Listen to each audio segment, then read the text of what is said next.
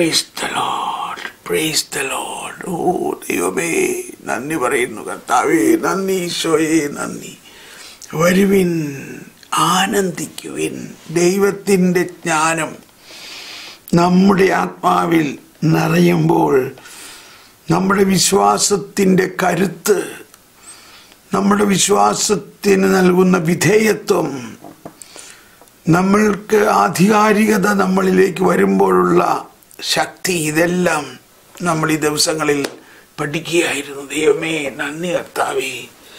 നന്ദി. ഞാൻ ജ്ഞാനത്തിന്റെ പുസ്തകം തുറന്നു വെച്ചിരിക്കുകയാണ്. ഒരു വചനം നമ്മൾക്ക് വായിച്ചിട്ട് നമുക്ക് തുടരാം.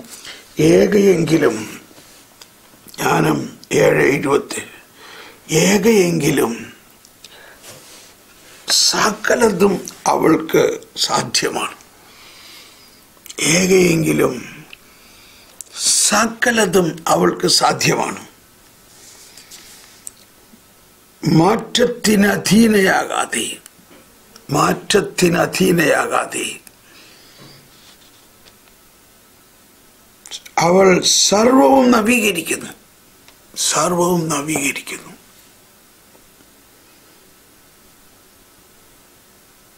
ഓരോ തലമുറയിലുമുള്ള വിശുദ്ധ ചേതനങ്ങളിൽ പ്രവേശിക്കുന്നു. അവരെ ദൈവമിത്രങ്ങളും പ്രവാചകരുമാക്കുന്നു. ദൈവമിത്രങ്ങളും പ്രവാചകരുമാക്കുന്നു. ദൈവം എന്തിനേയും കാൾ ഉപരി ജ്ഞാനികളെ സ്നേഹിക്കുന്നു. ഓ ദൈവമേ ജ്ഞാനം നൽകണമേ ജ്ഞാനം നൽകണമേ ജ്ഞാനം നൽകണമേ. Praise the lord praise the lord നമുക്ക് ഇന്നത്തെ നമ്മുടെ എന്താണ് പറയാ?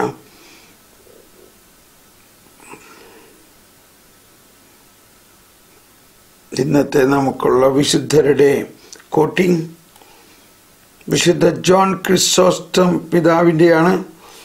സി സി സിയിൽ നിന്നും എടുത്തിട്ടുള്ള ഒരു ഉദ്ധരണിയാണ് വിശുദ്ധ ജോൺ ക്രിസോസ്റ്റം പിതാവ്. വിശുദ്ധ ജോൺ ക്രിസോസ്തോം പിതാവ് പറയുന്നു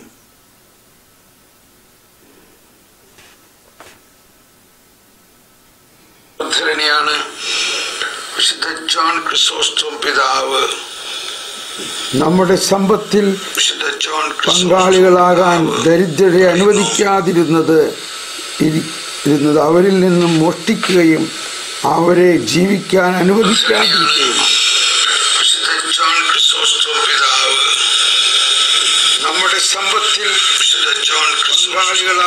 നമ്മുടെ കൈവശമുള്ള സാധനങ്ങൾ നമ്മുടേതല്ല അവരുടേതാണ്. അവരിൽ നിന്നും മോഷ്ടിക്കുകയും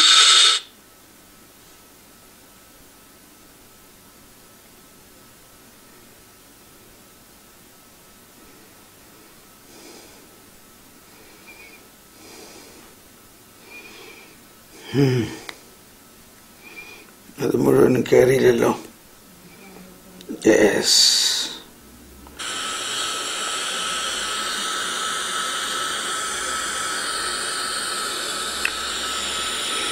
സി സി സി രണ്ടായിരത്തി നാനൂറ്റി നാൽപ്പത്തി ആറ് സി സി സി രണ്ടായിരത്തി നാനൂറ്റി നാൽപ്പത്തി ആറ്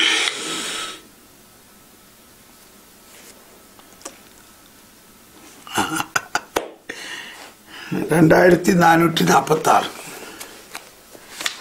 അയ്യോ രണ്ടായിരത്തി നാനൂറ്റി നാൽപ്പത്തഞ്ച് നമുക്ക് ഇന്ന് വായിക്കാനുള്ളതാണെന്ന് തോന്നുന്നു. രണ്ടായിരത്തി നാനൂറ്റി നാൽപ്പത്തി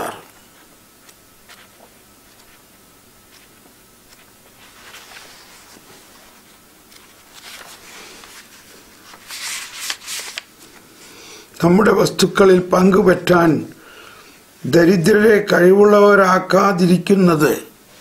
ദരിദ്രരെ കഴിവുള്ള ആ അത് ഇത്തിരി അതിന്റെ ടെക്സ്റ്റിൽ ഇത്തിരി കറക്ഷനുണ്ട് ദരിദ്രരെ കഴിവുള്ളവരാക്കാതിരിക്കുന്നത് അവരിൽ നിന്ന് മോഷ്ടിക്കുന്നതിനും അവരുടെ ജീവൻ നശിപ്പിക്കുന്നതിനും തുല്യമാണ്. നാം കൈവശം വച്ചിരിക്കുന്ന വസ്തുക്കൾ നമ്മുടേതല്ല പിന്നെയോ അവരുടേതാണ്.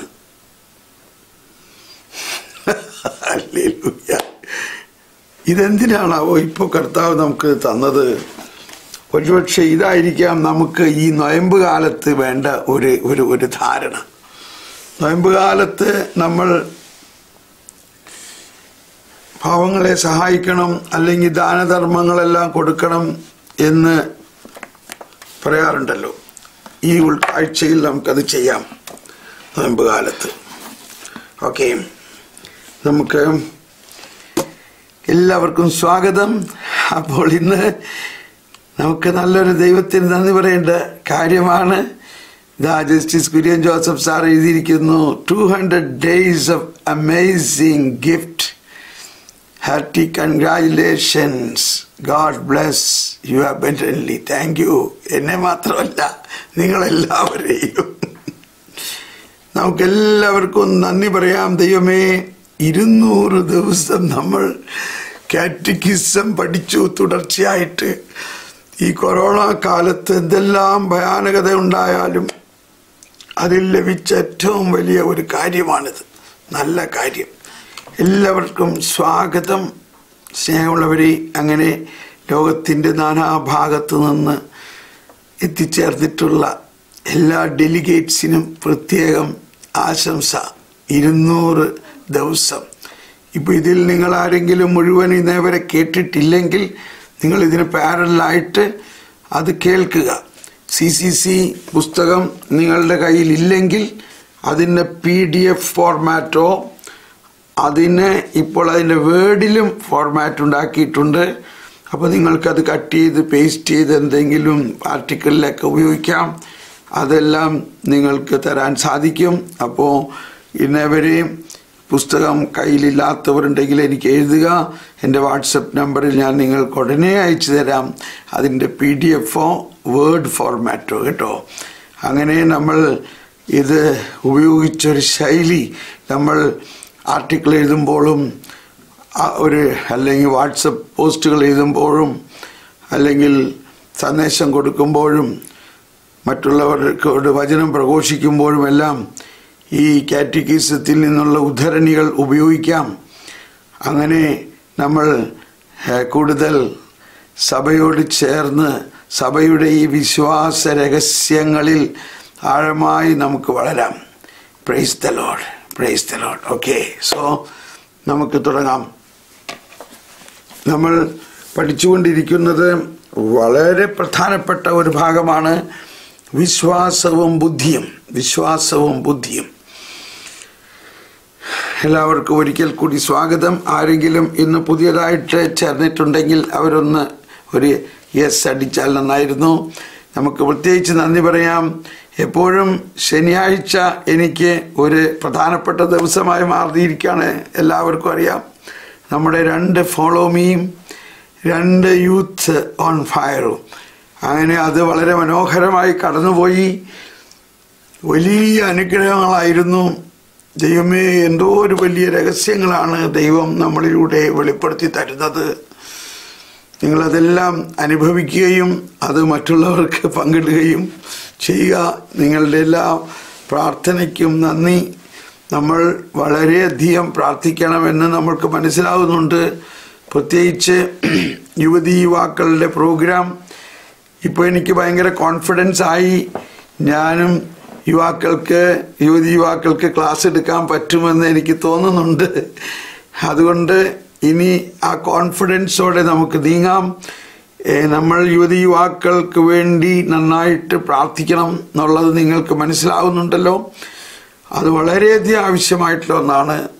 നമ്മൾ പ്രാർത്ഥിക്കണം പ്രാർത്ഥിക്കണം പ്രാർത്ഥിക്കണം. അപ്പോൾ സാവധാനം. അവർ കൂടുതൽ പേര് അത് പങ്കിടാനും അത് അനുഭവിക്കാൻ ഇടയാകും. അങ്ങനെ നമ്മുടെ യുവത്വം ശരിക്കും കത്തിജ്വലിക്കുന്നവരായി മാറും. ഓക്കെ.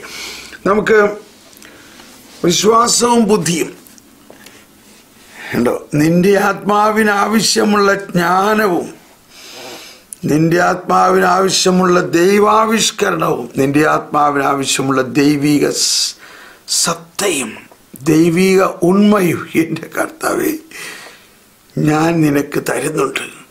മകനെ മകളെ എന്നിലേക്ക് തിരിയുവിൻ. ഇത് ഇത് ഇത് കേട്ടപ്പോൾ ഇതാണ് വാസ്തവത്തിൽ പശ്ചാത്താപം എന്ന് പറയുന്നത്. മനസാന്തരപ്പെടുവിൻ ഈ നൊയമ്പ് കാലത്ത് നൊയമ്പ് കാലം ആരംഭിക്കുകയാണ്. എന്താണ് പശ്ചാത്താപം എന്ന് പറയുന്നത്?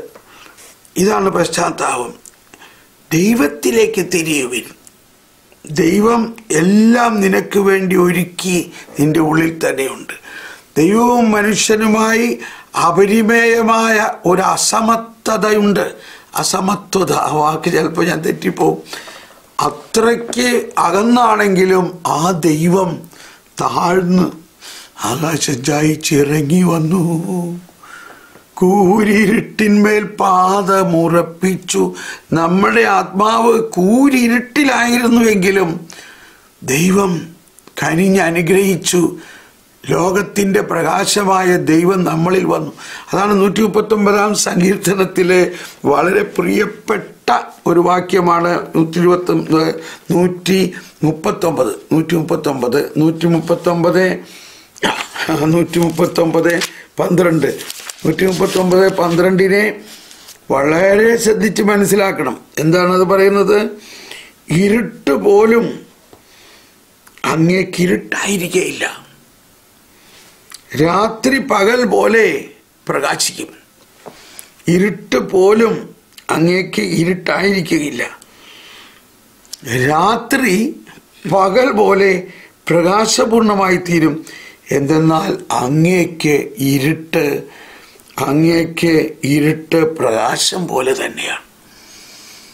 ഓ ആകാശം ചായച്ചിറങ്ങി വന്നു. അതാണ് ആകാശം. ആ മനുഷ്യനിൽ നിന്ന് എത്രത്തോളം അകലെയായിരുന്ന ദൈവം പ്രകാശം മാത്രമായിരിക്കുന്ന ദൈവം ഈ രാത്രിയിലേക്ക് കൂരിരുട്ടിലേക്ക് ഇറങ്ങി വന്നു. ഇറങ്ങി വന്നു. മനുഷ്യന്റെ അകത്തേക്ക് ഇറങ്ങി വന്നു. ഇറങ്ങി വന്നപ്പോൾ മനുഷ്യനിൽ എന്ത് സംഭവിച്ചു? അവന്റെ അകത്തുള്ള ഇരുട്ട് മാറി. ഇതാണ് സത്യം. ഇതാണ് സത്യം. ഇതിലേക്ക് തിരിയൂ. അപ്പോൾ മാനസാന്തരപ്പെടുവിൻ മെറ്റനോയ എന്ന് പറഞ്ഞാൽ turn to God turn back നിന്റെ ചിന്തയിലോ നീ കാണുന്നതിലോ നിന്റെ മനസ്സിലുള്ളതോ എല്ലാം വിട്ടിട്ട് നിന്നിലേക്ക് ദൈവം വസിക്കുന്ന നിന്നിൽ ദൈവത്തിലേക്ക് തിരിയൂ.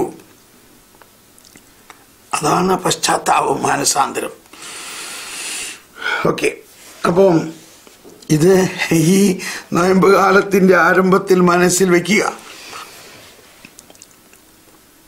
ദൈവം ആ നമ്മുടെ പാപത്തെ എടുത്ത് മാറ്റും. ദൈവം അന്ധകാരത്തെ എടുത്ത് മാറ്റുന്ന പ്രകാശമാണ്. മനുഷ്യന് സ്വയമേവ അത് മാറ്റുക സാധ്യമല്ല. അപ്പൊ നമ്മൾ നൂറ്റി അമ്പത്തി ആറാമത്തെ ഖണ്ണികയാണ് പഠിച്ചുകൊണ്ടിരിക്കുന്നത്. നൂറ്റി അൻപത്തി ആറ് ഇതിനിടയ്ക്ക് വളരെ പ്രസിദ്ധമായി കഴിഞ്ഞു ഈ നമ്പർ. വിശ്വാസവും ബുദ്ധിയും. പണ്ടേ മുതൽ നമ്മൾ കാറ്റിക്കിസത്തിൽ ഈ ഭാഗം വരുമ്പോൾ ഇനി അടുത്തുള്ള രണ്ട് മൂന്ന് പാരഗ്രാഫുകളെല്ലാം വളരെ പ്രസക്തമായ കാര്യങ്ങളാണ് പ്രത്യേകിച്ച് ബുദ്ധിജീവികളുടെ ഇടയിൽ. എന്നാൽ അവിടെ നമ്മൾ മനസ്സിലാക്കിയ വളരെ പ്രധാനപ്പെട്ട ഒന്ന് രണ്ട് കാര്യം ഞാൻ ഒന്ന് റിപ്പീറ്റ് ചെയ്യണമെന്ന് വിഷമിക്കരുത്. പലരും പറഞ്ഞു വളരെ റിപ്പീറ്റ് ചെയ്തോളൂ അപ്പോഴാണ് ഞങ്ങൾക്കകത്തത് വീണ്ടും വീണ്ടും വീണ്ടും തറച്ചു കയറുന്നതെന്ന്. അതായത് ദൈവാവിഷ്കരണം നമ്മുടെ ബുദ്ധിയും ബോധ്യത്തിലും ഒരു ദൈവീകമായ രഹസ്യം നമുക്ക് മനസ്സിലായി. ആ. ഓ ഓ, മനസ്സിലായി അത് അതിന്റെ ആദ്യപടിയാവുന്നുള്ളൂ. അതാണ് ആവിഷ്കൃത സത്യങ്ങൾ നമ്മുടെ സ്വാഭാവിക ബുദ്ധിയുടെ വെളിച്ചത്തിൽ സത്യവും സുഗ്രാഹ്യവുമായി കാണപ്പെടുന്നു എന്ന വസ്തുതയല്ല വിശ്വസിക്കാൻ നമ്മെ പ്രേരിപ്പിക്കുന്നത്. പ്രേസ്തല്ലോട്ട് Lord. പിന്നെ എന്താ പ്രത്യുത അവ വെളിപ്പെടുത്തുന്ന ദൈവത്തിന്റെ വഞ്ചിക്കാനോ വഞ്ചിക്കപ്പെടാനോ കഴിയാത്ത ദൈവത്തിന്റെ ആധികാരികതയുടെ അടിസ്ഥാനത്തിലാണ് നാം വിശ്വസിക്കുന്നത്. അപ്പം നമുക്ക് നമ്മുടെ മാനുഷിക മനസ്സിലത് മനസ്സിലായി നല്ലൊരു വെളിപാടാണ് കിട്ടിയിരിക്കുന്നത്. പക്ഷേ അതുകൊണ്ടല്ല നമ്മളിൽ അത് വിശ്വാസമായി രൂപപ്പെടുന്നത്. അതിന്റെ പിന്നിലുള്ള ദൈവത്തിന്റെ ആധികാരികത. നമ്മൾ വിശദീകരിച്ച് കഴിഞ്ഞതാണെങ്കിലും ആധികാരികതയ്ക്ക് നമ്മൾ കൂടുതൽ കൂടുതൽ ഊന്നൽ കൊടുക്കണം. ഇങ്ങനെയാണെങ്കിലും അപ്പോൾ അതാണ് രണ്ടാമത്തെ സ്റ്റെപ്പ്. ഇങ്ങനെയാണെങ്കിലും നമ്മുടെ വിശ്വാസ വിധേയത്വം യുക്തിക്ക് അനുസൃതമായിരിക്കേണ്ടതിനായി പരിശുദ്ധാത്മാവിന്റെ ആന്തരിക സഹായങ്ങൾ വേണം. കണ്ടോ? ഇങ്ങനെ അങ്ങനെയുള്ള ആ വിശ്വാസത്തിന് നമ്മുടെ യുക്തി വിധേയപ്പെടണം. വിധേയപ്പെടണം. അതാണ് വിശ്വാസ വിധേയത്വം എന്ന് പറയുന്നത്. വിശ്വാസ വിധേയത്വം നമ്മുടെ യുക്തിക്ക് അനുസമ അനുസൃതമായിരിക്കേണ്ടതിനായി പരിശുദ്ധാത്മാവ് ആന്തരികമായി നമ്മളെ സഹായിക്കുന്നു. ഇതാണ് അതിന്റെ മൂന്നാമത്തെ സ്റ്റെപ്പ്. ഒന്ന് ആ വെളിപാട് പിന്നെ അതിന്റെ ആധികാരികത പിന്നെ അതിനോട് നമ്മൾ വിധേയപ്പെടുന്ന നമ്മുടെ യുക്തി. അവിടെയാണല്ലോ പലർക്കും ബുദ്ധിമുട്ടുള്ളത്. കാരണം യുക്തി പ്രകാശിക്കപ്പെടാത്തത് കൊണ്ടാണ്.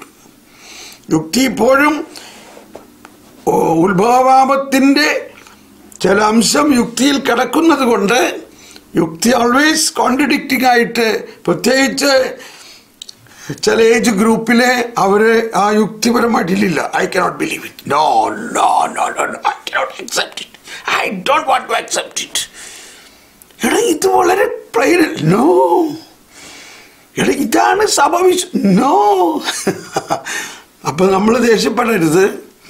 നമ്മൾ തിരിച്ചൊന്നും പറയരുത്. നമ്മൾ മനസ്സിലാക്കണം ഇതാരാ പറയണേ? അവന്റെ യുക്തി പ്രകാശിക്കപ്പെട്ടിട്ടില്ല. നമ്മളും ഇങ്ങനെയൊക്കെ ആയിരുന്നു. നമ്മൾ അവരുടെ പ്രായത്തിലായിരുന്നപ്പോഴും ഇങ്ങനെയൊക്കെ ആയിരുന്നു. അപ്പൊ ആ യുക്തി പ്രകാശിക്കപ്പെടുന്നതിന് പരിശുദ്ധാത്മാവിന്റെ ആന്തരിക സഹായം വേണം.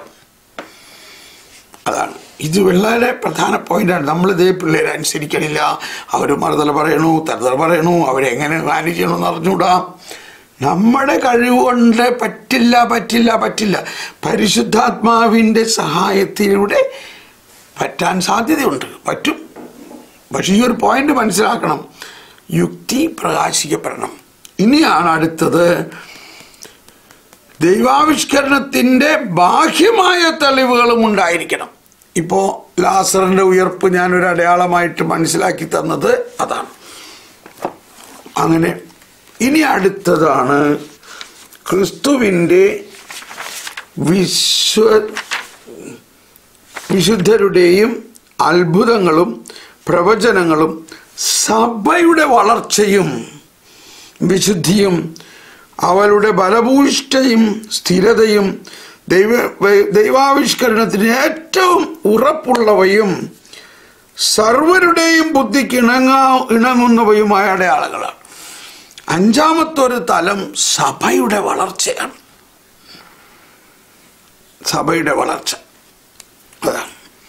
വിശ്വാസം നൽകുന്ന വിധേയത്വം യാതൊരു വിധത്തിലും മനസ്സിന്റെ അന്ധമായ ഒരു പ്രേരണയാലല്ല പ്രേരണയല്ല. എന്ന് കാണിച്ചു തരുന്ന വിശ്വാസ്യതയുടെ പ്രേരക ഘടകങ്ങളാണവ. അപ്പോൾ അഞ്ചാറ് പോയിന്റുകൾ നമുക്ക് ഇതിനകത്ത് എടുക്കാം. അപ്പോൾ ഇത് നമ്മൾ പഠിച്ചു നമ്മൾ അതിനെ ഒന്നും കൂടി സാംശീകരിച്ചതാണ്. ഇനി നമുക്കതിൽ അതിന്റെ സൈഡിലുള്ള പാരഗ്രാഫുകളിൽ ആയിരത്തി അറുപത്തി മൂന്ന് നമ്മൾ പഠിച്ചു അത് മനോഹരമായിരുന്നു. ആമേൻ ആമേൻ. സത്യം സത്യമായി ഞാൻ നിങ്ങളോട് പറയുന്നു. ആമേൻ ആമേൻ. ഐ സെറ്റ് യു എന്ന് ദൈവം മനുഷ്യനായി വന്ന് ഈശോ നമ്മുടെ മുമ്പിൽ നിന്നിട്ട് പറയുകയാണ്. പഴയ നിയമത്തിലാകട്ടെ കർത്താവ് അരുളി ചെയ്യുന്നു എന്ന് പ്രവാചകരിലൂടെ പറഞ്ഞത് പുതിയ നിയമത്തിൽ ഈശോ നേരിട്ട് വന്നിട്ട് ആമേൻ ആമേൻ. സത്യം സത്യമായി ഞാൻ നിങ്ങളോട് പറയുന്നു. അതിൽ യോഹന്നാന്റെ സുവിശേഷം അഞ്ചാം അധ്യായത്തിലെല്ലാം അഞ്ചാം അധ്യായം ഇരുപത്തൊന്ന് ഇരുപത്തിരണ്ട് ഇരുപത്തി മൂന്നിലെല്ലാം പറയുന്നത് എന്തോ ഒരു ശ്രേഷ്ഠമാണെന്ന് നമ്മൾ മനസ്സിലാക്കിക്കൊണ്ടിരിക്കുന്നു. പിതാവ് എല്ലാ അധികാരങ്ങളും പുത്രന് നൽകിയിരിക്കുന്നു. മരിച്ചവരെ ഉയർപ്പിക്കുന്ന പോലെ തന്നെ പിതാവ് മനുഷ്യനെ ഉയർപ്പിക്കുന്ന പോലെ തന്നെ പുത്രനും മനുഷ്യനെ ഉയർപ്പിക്കാൻ അധികാരം നൽകിയിരിക്കുന്നു. അല്ലോ ആധികാരികത. പിതാവ് സകല വിധിയും പുത്രനെ ഏൽപ്പിച്ചിരിക്കുന്നു. ഇതെന്തിനാണ്? അഞ്ച് ഇരുപത്തി മൂന്നിൽ വരുമ്പോഴേക്കും പറയുകയാണ് ഇത് എല്ലാവരും പുത്രനെ പുത്രനെ ടു ഓണർ ടു ഓണർ പുത്രനെ ബഹുമാനിക്കുന്നതിനും എല്ലാവരും പുത്രനെ ബഹുമാനിക്കുന്നതിനും വേണ്ടിയാണ്. പിതാവിനെ ബഹുമാനിക്കുന്നത് പോലെ തന്നെ പുത്രനെ ബഹുമാനിക്കുന്നതിന് വേണ്ടിയാണ്. അഞ്ച് അഞ്ച് ഇരുപത്തി മൂന്ന് പിതാവിനെ ആ ബഹുമാനം ആദരിക്കുന്നത് പോലെ. താങ്ക് യു ആ താങ്ക് യു പ്രിൻസി അവയെ അവനെ അയച്ച പിതാവിനെയും ഇത് പുത്രനെ ആദരിക്കുന്ന എല്ലാവരും പുത്രനെയും ആദരിക്കേണ്ടതിനാണിത്. അതാണ്. പുത്രനെ ആദരിക്കാത്തവരാരും അവനെ അയച്ച പിതാവിനെയും ആദരിക്കുന്നില്ല. സത്യം കണ്ടോ? സത്യം സത്യമായി ഞാൻ നിങ്ങളോട് പറയുന്നു. എന്റെ വചനം കേൾക്കുകയും എന്നെ അയച്ചവനെ എന്നെ അയച്ചവനെ ഓ സോറി എന്റെ വചനം കേൾക്കുകയും എന്റെ അവിടെ പോയി? എന്റെ വചനം കേൾക്കുകയും എന്നെ അയച്ചവനെ വിശ്വസിക്കുകയും ചെയ്യുന്നവന് നിത്യജീവനുണ്ട്. അവന് ശിക്ഷാവിധി ഉണ്ടാകുന്നില്ല. പ്രത്യുത അവൻ മരണത്തിൽ നിന്ന് ജീവനിലേക്ക് കടന്നിരിക്കുന്നു. സത്യം സത്യമായി ഞാൻ നിങ്ങളോട് പറയുന്നു. എന്റെ വചനം കേൾക്കുകയും എന്നെ ചെയ്യണം ഓക്കെ ഓക്കെ താങ്ക് യു പ്രത്യുത അവന് മരണത്തിൽ ജീവൻ. ഓക്കെ അപ്പോൾ ഇതെല്ലാം നമ്മൾ ആയിരത്തി അറുപത്തി മൂന്നിൽ പഠിച്ചു.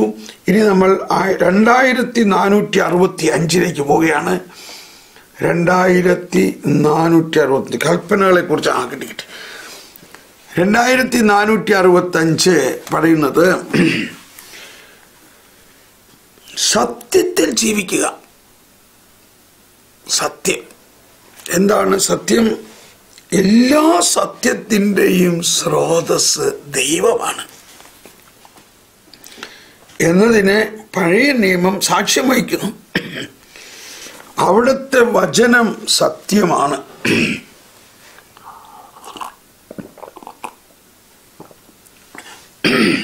സോറി അതോ അവിടുത്തെ വചനം സത്യമാണ്. നമ്മൾ വചനമൊക്കെ നമുക്കറിയാം. അത് പോരാ. അത് എവിടെയോ എഴുതിയിരിക്കുന്ന അക്ഷരമായിട്ടല്ല മനസ്സിലാക്കേണ്ടത് എന്നോട് ക്ഷമിക്കണം. ഇത് ഞാൻ എപ്പോഴും പറയാനുള്ളൊരു കാര്യമാണ്. അക്ഷരം ആയിട്ടല്ല മനസ്സിലാക്കേണ്ടത്. എന്തു കാരണവശാലും നമ്മളത് എഴുതിയല്ലേ പഠിക്കുന്നേ? അത് ശബ്ദമായിട്ട് നമ്മുടെ ഉള്ളിൽ മുഴങ്ങണം ഒരു വ്യക്തി സത്യം തന്നെയായ യേശു ക്രിസ്തു പറയുന്നതായിട്ട് നമ്മുടെ ഉള്ളിൽ മനസ്സിലാകണം. അതാണ് നമ്മൾ പലപ്പോഴും പറഞ്ഞത് വീണ്ടും ആവർത്തിക്കുകയാണ്. ആദിയിൽ വചനമുണ്ടായി വചനം ദൈവത്തോടു കൂടെ ആയിരുന്നു വചനം ദൈവമായിരുന്നു. അവൻ അവൻ ദൈവത്തോടു കൂടെ ആയിരുന്നു. അവിടെയാണ് കംപ്ലീറ്റ് ചേഞ്ച് അവൻ.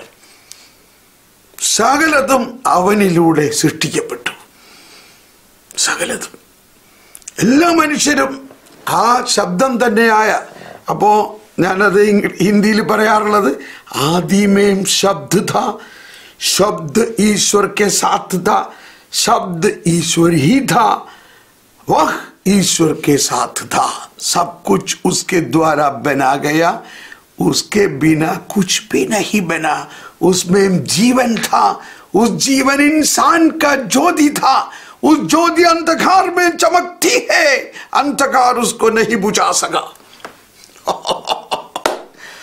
അപ്പോൾ നമ്മൾ മനസ്സിലാക്കണം ഈ ഫ്രത്തേലെ തൂത്തി എല്ലാ ജാതി മതസ്ഥരും മുസ്ലിം ആകട്ടെ ബുദ്ധിസ്റ്റ് ആകട്ടെ ഹിന്ദു ആകട്ടെ യഹൂദനാകട്ടെ നാസ്തികാകട്ടെ. ദൈവമില്ല എന്ന് പറയുന്നവനാകട്ടെ. അവനെല്ലാം ഈ ആദി വചനത്തിലൂടെ ആണ് സൃഷ്ടിക്കപ്പെട്ടിരിക്കുന്നത്. അവരെല്ലാവരിലും ഈ ദൈവം തന്നെയാകുന്ന വചനത്തിന്റെ വിത്ത് വിസ്മരണീയമായിട്ടുണ്ട്. അതാണ് അവരെ രക്ഷയിലേക്ക് നയിക്കുന്നത്. ആ സത്യം തന്നെയായ ദൈവം അവരിലുണ്ട്. നമ്മൾ എന്തെല്ലാം ആർഗ്യുമെന്റുകളാണ് പറയുന്നതും പറയുന്നത്? ആ ജനത ഇങ്ങനെയായിരുന്നു ഈ ജനത ഇങ്ങനെയായിരുന്നു അവരിങ്ങനെയായിരുന്നു അങ്ങനെ ആരാധിക്കുന്നു ഇവർ ആരാധിക്കും ഇത് എന്ത് പേരെ? ആരെ ആരാധിക്കുന്നവരായാലും. അതാണ് അന്ധകാരത്തിൽ ഇരുന്ന ജനം ഒരു പ്രകാശം കണ്ടു അവർ പിശാചിനെ ആരാധിക്കുന്നവരായാലും അവരെ നേടാൻ വേണ്ടിയാണ് കർത്താവ് വിശ്വംശിയ വന്നിരിക്കുന്നത്. അവൻ പിശാചിക്കനെ ആരാധിക്കുന്നത് എന്തുകൊണ്ടായിരിക്കും? അവന്റെ അജ്ഞത കൊണ്ടല്ലേ? എന്നാൽ അവന്റെ അവന്റെ അകത്ത് അവനെ സൃഷ്ടിച്ചവൻ അവന്റെ കൂടെ തന്നെയുണ്ട്. അപ്പോൾ അതാണ് എല്ലാ സത്യത്തിന്റെയും സ്രോതസ് ദൈവമാണ്. ദൈവമാണ്. എന്നതിന് പഴയ നിയമം സാക്ഷ്യം വഹിക്കുന്നു. അതാണ് ഉൽപ്പത്തി മുതൽ നമ്മൾ കാണുന്നത് ത്രിത്വത്തെക്കുറിച്ചാണ്. ഏകദൈവം എന്നല്ല അവിടെ പറയുന്നതെല്ലാം. ചൈത്വൈക ദൈവം നമുക്ക് എന്നാ പറയണേ? നമുക്ക്. നമുക്ക്. നമുക്ക്. നമുക്ക്. ഞാനിത് പറയുന്നത് ഈ ഓർത്തഡോക്സുകാരും മലങ്കര അല്ലെങ്കിൽ ഓറിയന്റൽ കിഴക്കൻ സഭകളെല്ലാം പിതാവും പുത്രനും കുരിശ് വരയ്ക്കണ നേരത്ത് ഇങ്ങനെയല്ല പിടിക്കണേ. ഈ മൂന്ന് വിരൽ ത്രിത്വമാണ്. പിതാവിന്റെയും പുത്രന്റെയും പരിശുദ്ധാത്മാവിന്റെയും നാമത്തിൽ. മൂന്ന് വിരൽ അപ്പോൾ ത്രിത്വമാണ്. ത്രിത്വൈക ദൈവം. അപ്പോൾ ത്രിത്വൈക ദൈവം. അതാണ് സ്രോതസ് എല്ലാ സത്യത്തിന്റെയും നമുക്ക് നമ്മുടെ ചായയിൽ മനുഷ്യനെ സൃഷ്ടിക്കാം. കേട്ടോ ഉൽപ്പത്തിയിൽ തന്നെ ആ ത്രിത്വമാണ്. എല്ലാ സത്യത്തിന്റെയും സ്രോതസ് ദൈവമാണ് എന്നതിന് പഴയ നിയമം സാക്ഷ്യം വഹിക്കുന്നു. അവിടുത്തെ വചനം സത്യമാണ്. ഏതാണ് ആ വചനം? ദൈവത്തോടൊപ്പം ഉണ്ടായിരുന്നത്. അവൻ ദൈവത്തോടൊപ്പമായിരുന്നു. സകലതും അവനിലൂടെ സൃഷ്ടിക്കപ്പെട്ടു. സകലതും. എന്ന് പറഞ്ഞാൽ എല്ലാ ജാതി മതസ്ഥരും അതാണ് ആ ക്രിസ്തു വിജ്ഞാനീയത്തിന്റെ ആരംഭം അവിടെ നിന്നാണ്. ഇതെല്ലാം റിഡംതോറിസ് മിസ്യോയിൽ ജോൺ പോൾ മാർപ്പാപ്പയുടെ പ്രബോധനങ്ങളിലുണ്ട്. അതിനുശേഷം ആ യോഹന്നാൻ ഒന്നാം അധ്യായത്തിൽ തന്നെ ഒമ്പതാമത്തെ വചനത്തിലാണ് പറയുന്നത് സകലത്തെയും പ്രകാശിപ്പിക്കുന്ന യഥാർത്ഥ വെളിച്ചം വരുന്നുണ്ടായിരുന്നു. സകലത്തെ എന്നല്ല സകല മനുഷ്യരെയും. സകല മനുഷ്യരെയും പ്രകാശിപ്പിക്കുന്ന യഥാർത്ഥ വെളിച്ചം വരുന്നുണ്ടായിരുന്നു. ലോകത്തിൽ തന്നെ ആയിരുന്നു. എന്നാൽ ലോകം അതിനെ അറിഞ്ഞില്ല. അതാണ് നമ്മുടെ അവസ്ഥ. ഇന്നും ലോകം അതിനറിയുന്നില്ല അതുകൊണ്ടുള്ള ബുദ്ധിമുട്ടാണ് നമുക്ക്. അവിടുത്തെ നിയമം സത്യമാണ്. അവിടുത്തെ വിശ്വസ്തത എല്ലാ തലമുറകളിലും നിലനിൽക്കുന്നു. സങ്കീർത്തനം. ഇരുന്നൂറ്റി അമ്പത്തിനാല് എന്ന് പറയുന്ന സങ്കീർത്തനം നൂറ്റി പത്തൊമ്പത് ഒമ്പതാണ്. സങ്കീർത്തനം നൂറ്റി പത്തൊമ്പത് തൊണ്ണൂറ് സോറി സങ്കീർത്തനം നൂറ്റി പത്തൊമ്പത് തൊണ്ണൂറ്. പിന്നെ പ്രോവർബ് എട്ട് ഏഴ് രണ്ട് സാമൂൽ ഏഴ് ഇരുപത്തെട്ട്. വിശ്വസ്തത എല്ലാ തലമുറകളിലും നിലനിൽക്കുന്നു. അപ്പൊ അതാണ് അവിടുത്തെ വിശ്വസ്തത. അവിടുത്തെ വിശ്വസ്തത. നമ്മൾ അവിശ്വസ്തരായാലും ദൈവം വിശ്വസ്തനാണ്. സങ്കീർത്തനം നൂറ്റി പത്തൊമ്പത് നൂറ്റി നാൽപ്പത്തി രണ്ട് ലൂക്ക ഒന്ന് അമ്പത്. ലൂക്ക ഒന്ന് അമ്പത് മാതാവിന്റെ സ്തോത്രഗീതം. അവിടുത്തെ വിശ്വസ്തത. അപ്പോൾ ദൈവം സത്യമാണ്. അവിടുത്തെ വചനം സത്യമാണ്. അവിടുത്തെ വിശ്വസ്തത എല്ലാ തലമുറകളിലും നിലനിൽക്കുന്നു. ദൈവം സത്യവാനാകിയാൽ അവിടത്തെ ജനന ജനത്തിലെ അംഗങ്ങൾ സത്യത്തിൽ ജീവിക്കാൻ വിളിക്കപ്പെട്ടിരിക്കുന്നു. നമ്മൾ ദൈവജനമാണ്. അപ്പോൾ നമുക്ക് നമുക്ക് കിട്ടുന്ന ആനുകൂല്യം എന്താ? ആ സത്യ ദൈവത്തിലുള്ള പങ്കാളിത്തം. ദൈവം സത്യവാൻ ആകയാൽ അവിടുത്തെ ജനത്തിലെ അംഗങ്ങൾ നമ്മളെല്ലാവരും സത്യത്തിൽ ജീവിക്കാൻ വിളിക്കപ്പെട്ടിരിക്കുന്നു. അതുകൊണ്ടാണ് ദൈവം ആ സത്യാത്മാവിന് നമുക്ക് നൽകിയിരിക്കുന്നത്. ആ സത്യാത്മാവ് വരുമ്പോൾ സത്യത്തിന്റെ പൂർണതയിലേക്ക് നമ്മൾ നയിക്കപ്പെടും. അങ്ങനെ ആ സത്യാത്മാവ് എന്ന് പറയുന്നത് ആ ദൈവിക സത്യം നമ്മളിൽ പൂർണമായി മനസ്സിലാക്കി തരാൻ ആ സത്യാത്മാവിന് സാധിക്കും. അതാണ് പല റെഫറൻസുകളുണ്ട്. ഇനി നമ്മൾക്ക് എണ്ണൂറ്റി പന്ത്രണ്ടിലേക്ക് വരാം. എണ്ണൂറ്റി പന്ത്രണ്ട് സഭയെക്കുറിച്ചുള്ള പ്രബോധനമാണ്. വളരെ വിസ്മരണീയമാണ് എണ്ണൂറ്റി പന്ത്രണ്ട് നൂറ്റമ്പത്തി ആറിന്റെ അവസാനം സഭയെക്കുറിച്ച് പറയുന്നുണ്ടോ? ആ വിശ്വാസം നമ്മൾ അടയാള സഹിതം ലഭിച്ചുവെങ്കിലും അതിനുശേഷം പറയുന്നത് ക്രിസ്തുവിന്റെയും വിശുദ്ധരുടെയും നൂറ്റമ്പത്താറിന്റെ അവസാനം അത്ഭുതങ്ങളും പ്രവചനങ്ങളും സഭയുടെ വളർച്ചയും വിശുദ്ധിയും. അതും വിശ്വാസത്തിന്റെ ഒരു കാര്യമാണ് സഭ. ചിലർ പറയുന്നുണ്ട് ഞാൻ കർത്താവിനെ വിശ്വസിക്കുന്നുണ്ട് പക്ഷെ എനിക്ക് സഭയോട് അത്ര വലിയ വിശ്വാസമൊന്നുമില്ല. അപ്പൊ അവർ സഭയെ മനസ്സിലാക്കുന്നത് ഒരു സ്ട്രക്ചറായിട്ടാണ് അടുത്ത പള്ളിയിലെ അച്ഛൻ ആ പള്ളിയിലെ അച്ഛൻ എന്റെ വീട്ടിൽ വന്നില്ല. ഞാൻ എത്ര പ്രാവശ്യം പള്ളിയിൽ പോകുന്നുണ്ട്? അച്ഛൻ ഒരു പ്രാവശ്യം എന്റെ വീട്ടിൽ വന്നാൽ എന്താ? അങ്ങനത്തെ സഭയിൽ എനിക്ക് പോകണ്ട. ഇതാണ്. ഇങ്ങനെയൊക്കെ പറയാൻ പോയി എന്ത് സമാധാനം പറയും.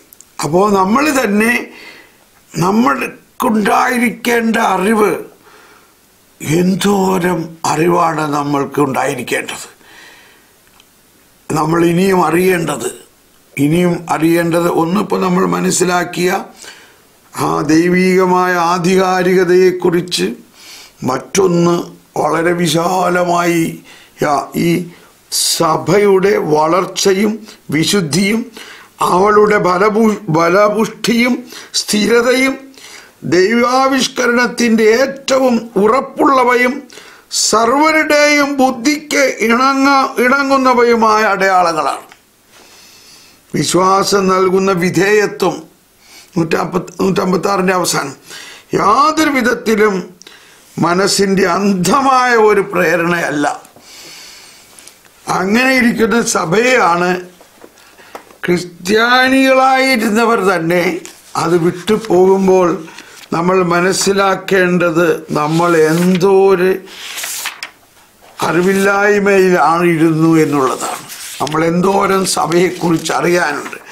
അപ്പോൾ ഇവിടെ എണ്ണൂറ്റി പന്ത്രണ്ടാമത്തെ ഖണ്ണികയിൽ സഭയെക്കുറിച്ചുള്ള പ്രബോധനത്തിന്റെ ഒരു പാരഗ്രാഫ് നമ്മൾ കേൾക്കുമ്പോൾ നമുക്ക് കുറേയൊക്കെ മനസ്സിലാവും. വളരെ പ്രസിദ്ധമായ ഒന്നാം വത്തിക്കാൻ സൂനകദോസിലെ ഒരു പ്രമേയമാണത്. സോറി എന്റെ തൊണ്ട.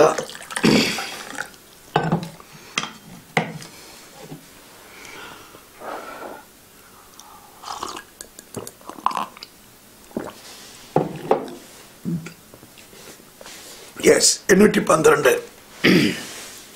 സഭ ഈ സവിശേഷതകളെ തന്റെ ദൈവിക സ്രോതസ്സിൽ നിന്ന് സ്വന്തമാക്കുന്നുവെന്ന് വിശ്വാസത്തിലൂടെ മാത്രമേ മനസ്സിലാക്കാൻ കഴിയുകയുള്ളൂ. അതാണ് വിശ്വാസത്തിന്റെ മറ്റൊരു രഹസ്യം അതാണ്. സഭ ഈ സവിശേഷതകളെ തന്റെ ദൈവിക സ്രോതസ്സിൽ നിന്ന് അപ്പൊ ദൈവിക സ്രോതസ് എന്ന് പറയുന്നത് വലിയ ഒരു വിഷയമാണ്. സ്വന്തമാക്കുന്നുവെന്ന് വിശ്വാസത്തിലൂടെ മാത്രമേ മനസ്സിലാക്കാൻ കഴിയുള്ളൂ. പക്ഷേ ചരിത്രത്തിലെ അവയുടെ പ്രകടനങ്ങൾ മനുഷ്യബുദ്ധിക്ക് അവയെ വ്യക്തമാക്കി കൊടുക്കുന്ന അടയാളങ്ങൾ കൂടിയാണ്. ഇപ്പൊ നമ്മൾ ഈശോയുടെ പ്രബോധനവും ആധികാരികതയും അതിനെ അടയാളങ്ങളിലൂടെ അവതരിപ്പിച്ച ഈശോ തന്നെ നേരിട്ട് അവതരിപ്പിച്ച അത്ഭുതങ്ങളും അടയാളങ്ങളിലൂടെ അത് മനസ്സിലാക്കി തന്നതും എന്ന പോലെ തന്നെ സഭയുടെ ഈ രണ്ടായിരം വർഷത്തെ ആവിഷ്കരണത്തിൽ സഭയുടെ ആധികാരികതയും സഭയുടെ പ്രത്യേകതകളും വളർച്ചയും ചരിത്രത്തിലെ ഈ രണ്ടായിരം വർഷത്തിന്റെ ചരിത്രത്തിലെ അവയുടെ പ്രകടനങ്ങൾ മനുഷ്യബുദ്ധിക്ക് അവയെ വ്യക്തമാക്കി കൊടുക്കുന്ന അടയാളങ്ങൾ കൂടിയാണ്. ഞാൻ അതിനൊരു റെഫറൻസ് തരാം. ഇനി അടുത്ത് പറയുന്ന പ്രബോധനം ഒന്നാം വത്തിക്കാൻ കൗൺസിലിൽ പറഞ്ഞതാണ്. ഒന്നാം വത്തിക്കാൻ കൗൺസിൽ ഒന്നാം വത്തിക്കാൻ കൗൺസിൽ ഒന്നാം വർത്തിക്കാൻ കൗൺസിൽ ഉണ്ടായത് വിശുദ്ധ പോപ്പ് ഒമ്പതാം പയസ് ഒമ്പതാം മാർപ്പാപ്പയുടെ കാലത്താണ്.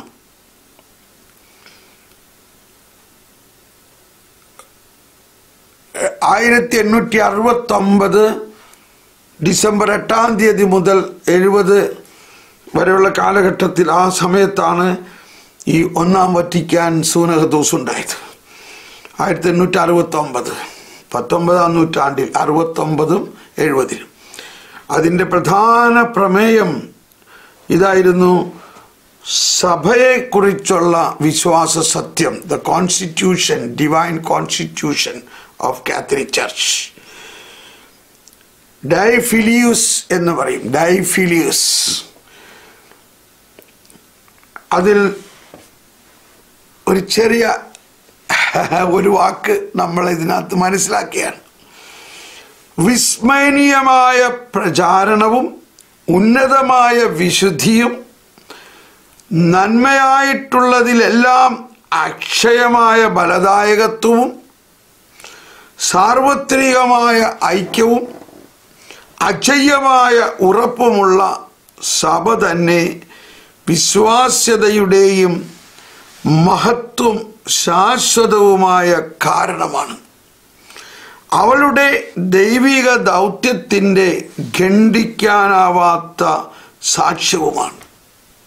ക്രൈസ്തലോട് ഇത് സഭയാ സഭാസ്നേഹികളായവർക്ക് എളുപ്പം മനസ്സിലാവും.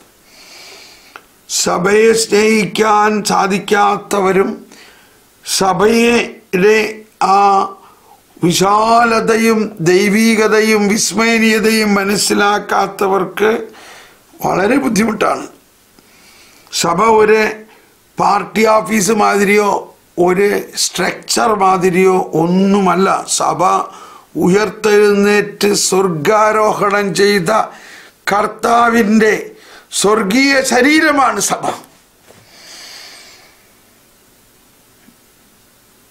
അതാണ് മനസ്സിലാക്കേണ്ടത്. നമ്മൾ ഈ കഴിഞ്ഞ ദിവസങ്ങളെല്ലാം ഈശോ ഉത്ഥാനം ചെയ്ത് സ്വർഗത്തിലേക്ക് എഴുന്നള്ളി. എഴുന്നള്ളിയപ്പോൾ എന്തു സംഭവിച്ചു? ഈശോ തന്നോടൊപ്പം മനുഷ്യരെല്ലാം സ്വർഗത്തിലേക്ക് കൊണ്ടുപോയി. ആ യേശുവിന്റെ ശരീരമാണ് സഭ. അതാണ് ഇവിടെ പറയുന്നത്. വിസ്മരണീയമായ പ്രചാരണവും ഉന്നതമായ വിശുദ്ധിയും നന്മയായിട്ടുള്ളതിനെല്ലാം അക്ഷയമായ ഫലദായകത്വവും സാർവത്രികമായ ഐക്യവും അജയമായ ഉറപ്പുമുള്ള സഭ തന്നെ വിശ്വാസ്യതയുടെ മഹത്വം ശാശ്വതവുമായ കാരണമാണ്. അവളുടെ ദൈവീക ദൗത്യത്തിന്റെ ഖണ്ഡിക്കാനാവാത്ത സാക്ഷ്യവുമാണ്. ഇപ്പോൾ ഇവിടെയും അടയാളങ്ങളുണ്ടായി. സഭയിൽ ധാരാളം അടയാളങ്ങളുണ്ടായി. അതാണ് ആദ്യത്തെ മൂന്ന് നൂറ്റാണ്ടിൽ പ്രത്യേകിച്ചുണ്ടായ അതിഭയാനകമായ മതപീഠനം ഈ ഭയാനകമായ മതപീഠനം കൊണ്ട് സഭ കരുത്തുള്ളതായതല്ലാതെ സഭയ്ക്ക് ഒരു ദൂഷ്യവും വന്നില്ല. സഭ ഏത് കാലഘട്ടത്തിലും മതപീഠനത്തിലൂടെ തന്നെ കടന്നു പോകും അതുകൊണ്ട് ഇപ്പോഴും മതപീഡനം ഉണ്ടാകുമ്പോൾ നമ്മൾ പതറാതെ നമ്മൾ വിശ്വാസത്തിന്റെ ആ രഹസ്യം മനസ്സിലാക്കണം. ക്രിസ്തുവിന്റെ അനുയായികളായതുകൊണ്ട് തന്നെ ക്രിസ്തുവിനെ പീഡിപ്പിച്ച ആ പീഡനങ്ങൾ സഭ എല്ലാവർക്കും ഉണ്ടാകും. വിവിധ തരത്തിൽ അകത്തു നിന്നും ഉണ്ടാകും പുറത്തു നിന്നും ഉണ്ടാകും ഇനി ഒരു അടയാളം എനിക്ക് പറയാൻ തോന്നുന്നത് ഇതാണ്. കോൺസ്റ്റന്റൈൻ ചക്രവർത്തിയുടെ കാലം വരെ. എ ഡി അതായത് മുന്നൂറ്റി ആറ് മുതൽ മുന്നൂറ്റി മുപ്പത്തേഴ് വരെയാണ് കോൺസ്റ്റന്റൈൻ ദ ഗ്രേറ്റ്. അദ്ദേഹത്തിന്റെ അമ്മയുടെ പേര് മദർ ഹെലീന. ഈ ഇത്രയും കാലഘട്ടം ഈ മൂന്ന് നൂറ്റാണ്ട് സഭ അനുഭവിച്ചത് അതിഭയാനകമായ പീഡനമായിരുന്നു. എന്നാൽ ഒറ്റ രാത്രി കൊണ്ട് ഇതെല്ലാം തകിടം മറിയുന്നു. എന്നാലോചിച്ച് നോക്ക്. കോൺസ്റ്റന്റൈൻ ചക്രവർത്തിക്ക് ഒരു സ്വപ്നമുണ്ടാകുകയാണ്. ഒരു വലിയ യുദ്ധത്തിൽ ഒരുപാട് ഇപ്പോൾ വിശദീകരിക്കുന്നില്ല. ഇത്രയും മാത്രം മനസ്സിലാക്കുക. ഒരു യുദ്ധത്തിൽ അദ്ദേഹത്തെ ജയിക്കണമെങ്കിൽ ഇന്നത് ചെയ്താൽ മതി എന്ന് കർത്താവ് ദർശനത്തിൽ കൊടുക്കുകയാണ്. മനസ്സിലാക്കണം ഇപ്പം ഈ കോൺസ്റ്റന്റൈൻ ചക്രവർത്തിയും അന്ന് വരെ ക്രിസ്ത്യാനികളെ പീഡിപ്പിക്കുന്നവരായിരുന്നു. റോമായിലെ എല്ലാ ചക്രവർത്തിമാരും ക്രിസ്ത്യാനികളെ അതിഭയാനകമായി പീഡിപ്പിച്ചിരുന്നു. നമുക്കറിയാം. അതിന്റെ അടയാളങ്ങളാണ് ഇന്നും നിലനിൽക്കുന്ന ആ കൊളോസിയവും എല്ലാം ആലോചിച്ച് നോക്കിയോ എന്നാൽ ഒറ്റ രാത്രി. അപ്പോൾ ദൈവം ഇത്രയും പൈശാചികത അഴിച്ചുവിട്ടിരിക്കുന്ന ആ ചക്രവർത്തിയോട് ദൈവം സംസാരിക്കോ ഇല്ലയോ? കണ്ടോ? അതാണ് പറയുന്നത്. ദൈവത്തിന് ദൈവം പ്രകാശമാണ് അന്ധകാരം പോലും പ്രകാശമാക്കി മാറ്റും. കോൺസ്റ്റന്റൈന് സ്വപ്നത്തിൽ കാണിച്ചു കൊടുക്കുകയാണ് കുരിശ് ആണ് നിന്നെ ജയിപ്പിക്കാൻ പോകുന്നത്. കുരിശോ? ഈ കുരിശിനെതിരായിട്ടല്ലേ നമ്മൾ ഇത്രയും പടവെട്ടുന്നതും അവരെയല്ലേ നമ്മൾ തൂത്തെറിയാൻ ശ്രമിക്കുന്നതും? നീ കുരിശിന്റെ ചിഹ്നം. കുരിശ് ഉപയോഗിക്കുക എല്ലാവരും കുരിശേന്തുക. കുരിശിന്റെ ചിഹ്നം നിന്റെ പരിചയിലും യുദ്ധക്കോപ്പുകളിലും എല്ലാം മുദ്ര കുത്തുക ഈ കുരിശിലൂടെ നീ വിജയിക്കും.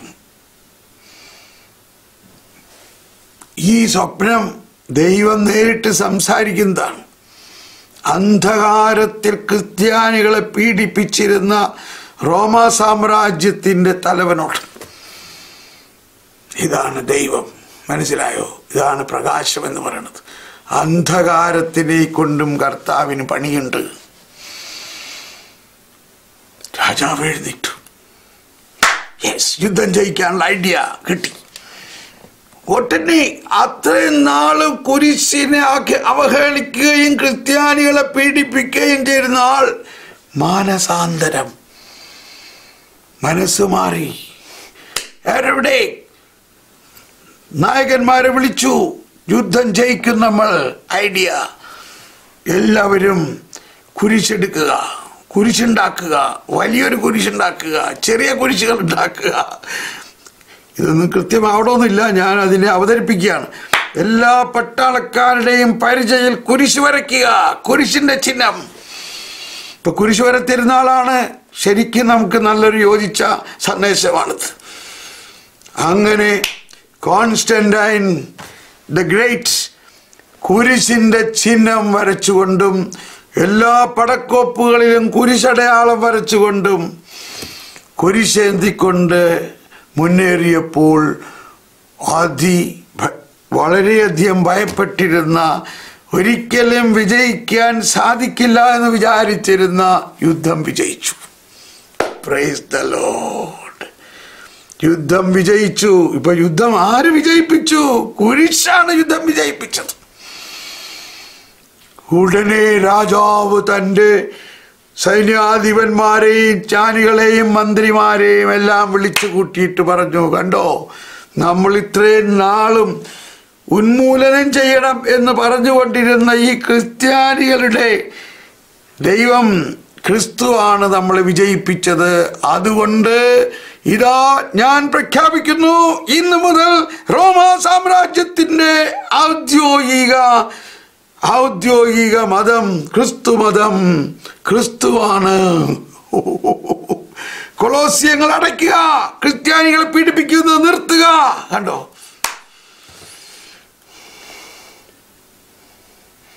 ഇതൊരടയാളം ഇതൊരടയാളം ഇങ്ങനെ എല്ലാ കാലഘട്ടങ്ങളിലും ദൈവം തന്റെ സഭയെ കണ്ണിലെണ്ണൊഴിക്കുന്നത് പോലെ നോക്കി കൃത്യസമയത്ത് ഇടപെട്ടിട്ടുള്ളത് ചരിത്ര സംഭവങ്ങളാണ്. ചരിത്ര സംഭവങ്ങളാണ്. അത് നമ്മൾക്ക് ചരിത്രം നമ്മൾ ഈ ചരിത്രങ്ങളൊന്നും അധികം പഠിക്കുന്നില്ല. അതുകൊണ്ടാണ് ഞാൻ പറയുന്നത് നിങ്ങളെ ഹോം സ്കൂളൊക്കെ നടത്തുന്നവർ ഈ സഭാ ചരിത്രങ്ങൾ പഠിക്കണം നമ്മളും പഠിക്കണം. ഈ സഭാ ചരിത്രം പഠിക്കുമ്പോൾ നമുക്ക് മനസ്സിലാകും ഈശോയെ പോലെ തന്നെ ഈശോ നൽകിയ പ്രബോധനങ്ങൾക്ക് അടയാള സഹിതം ഈശോ വിശ്- വിശ്വസ്തത നമുക്ക് നൽകിയ പോലെ തന്നെ സഭയിലും ഒരുപാട് അടയാളങ്ങളിലൂടെ രക്തസാക്ഷികളുടെ രക്തച്ചൊരിച്ചിലുകളിലൂടെ ഓരോ കാലഘട്ടത്തിലും അടയാളങ്ങൾ നൽകിയിട്ടുണ്ട്. സഭയുടെ വളർച്ച അങ്ങനെ വെറുതെ ഇങ്ങനെ ഒരു റെഡ് കാർപ്പറ്റിലൂടെ വളർന്ന സഭയല്ല. രക്തസാക്ഷികളുടെ ചുടുനിണത്തിലാണ് ഇത് വളർന്നത്. അതുകൊണ്ട് ഇന്ന് സംഭവിക്കുന്ന എന്തെല്ലാം ഭയാനതകളുണ്ടെന്ന് പറഞ്ഞിട്ട് നോക്കിയിട്ട് അതൊന്നും അതൊന്നും അതിനെയൊക്കെ കണ്ട് പേടിക്കുന്ന ഭീരുക്കളാകരുത് നമ്മൾ. അവിടെയെല്ലാം സഭയിൽ ഇതെല്ലാം സഭയ്ക്ക് വളരെ പരിചയമുള്ളതാണെന്ന് ഓർത്തുകൊണ്ട് കർത്താവിൽ മാത്രം ശരണപ്പെടണം. ഈശോയെ നന്ദി. അപ്പോൾ നമ്മൾ ഇതാണ് ഒന്നാം വത്തിക്കാൻ സൂനഹദോസിൽ ഉണ്ടായ വലിയ ഒരു പ്രഖ്യാപനമാണ് സഭയുടെ വിശ്വാസ രഹസ്യങ്ങളെക്കുറിച്ചുള്ള യഥാർത്ഥമായ പ്രബോധനം. ഒന്നാം വറ്റിക്കാൻ സൂനത് ഒന്നാം വറ്റിക്കാൻ സൂനത് പ്രൈസ് ദ ലോഡ് അപ്പോൾ ഇതോടെ ഈ നൂറ്റി അമ്പത്തി ആറാം പാരഗ്രാഫ് അവസാനിക്കുകയാണ്. ഇനി നാളെ നമ്മൾ നൂറ്റി അൻപത്തി ഏഴിലേക്ക് പ്രവേശിക്കും. അത് ഇനി സാവധാനം വിശ്വാസവും യുക്തിയുടെ കൂടുതൽ കാര്യങ്ങൾ നമ്മൾ പഠിക്കാൻ പോവുകയാണ്. വരുവിൻ നമുക്ക് നന്ദി പറയാം. നമുക്ക് ഇങ്ങനെ അത്ഭുതങ്ങളും അടയാളങ്ങളിലൂടെ വളർന്നു വന്ന ഈ സഭയിലെ അംഗങ്ങളായതിനെ കുറിച്ച് നമ്മൾക്ക് അഭിമാനിക്കാമോ ഇല്ലയോ? പറയും. നമ്മൾക്ക് അഭിമാനമുണ്ടോ? നമ്മൾ അനു അഭിമാനത്തോടെ നമുക്കൊന്ന് സ്തുതിക്കാം. കർത്താവേ നന്ദി. നമ്മുടെ ഈ കാലഘട്ടത്തിലും സഭാ മക്കളിലേക്ക് ഈ സഭയുടെ രഹസ്യങ്ങളെ മനസ്സിലാക്കാൻ ഇടവരുത്തണേ. സഭയുടെ രഹസ്യങ്ങളും സഭയ്ക്ക് സഭയിലുള്ള സഭയിൽ അംഗമായിരിക്കുന്നതിന്റെ അഭിമാനം ഉണ്ടാകാൻ ഇടവരുത്തനെ. നമുക്ക് സ്തുതിക്കാം. ഹലലിയ ഹലലിയ ഹലലിയ ഹലലിയ ഞങ്ങളുടെ വിശ്വാസം വർദ്ധിപ്പിക്കണമേ. ഞങ്ങളുടെ വിശ്വാസം വർദ്ധിപ്പിക്കണമേ. ഞങ്ങളുടെ വിശ്വാസത്തിന്റെ ആധികാരികതയിൽ ഉറപ്പിക്കണേ ഞങ്ങൾ സഭയിലുള്ള വിശ്വാസം വർദ്ധിക്കണേ. സഭാമാതാവിന്റെ അമ്മിഞ്ഞപ്പാൽ കുടിക്കുന്ന സഭാ പ്രബോധനങ്ങളെ വിശ്വസിക്കുന്നതും സഭയ്ക്ക് വേണ്ടി സഹിക്കാൻ തയ്യാറാകണമേ. സഭയ്ക്ക് വേണ്ടി സഹിക്കാൻ തയ്യാറാകണേ. ഹലലുയ ഹലലുയ ഹലലുയ ഹലലുയ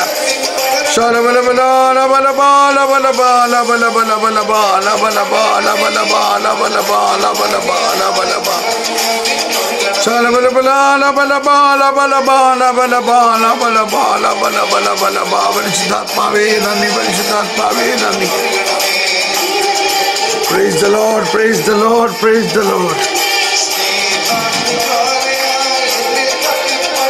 Praise the Lord, praise the Lord. God bless you, God bless you, God bless you, God bless you.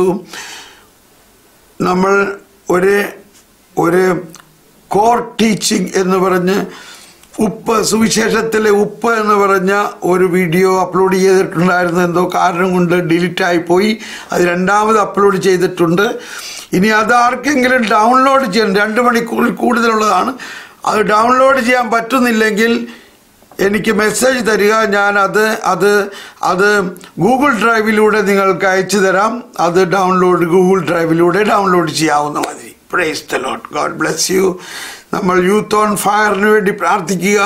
അത് കൂടുതൽ പേര് ഇനി കാണാനും അതിലൂടെ നമ്മുടെ യുവതി യുവാക്കൾ കൂടുതൽ പ്രബുദ്ധരാകാൻ വേണ്ടി നിങ്ങൾ തന്നെ വ്യക്തിപരമായിട്ട് എന്തെങ്കിലും ചെയ്യണം. Praise the lord God bless you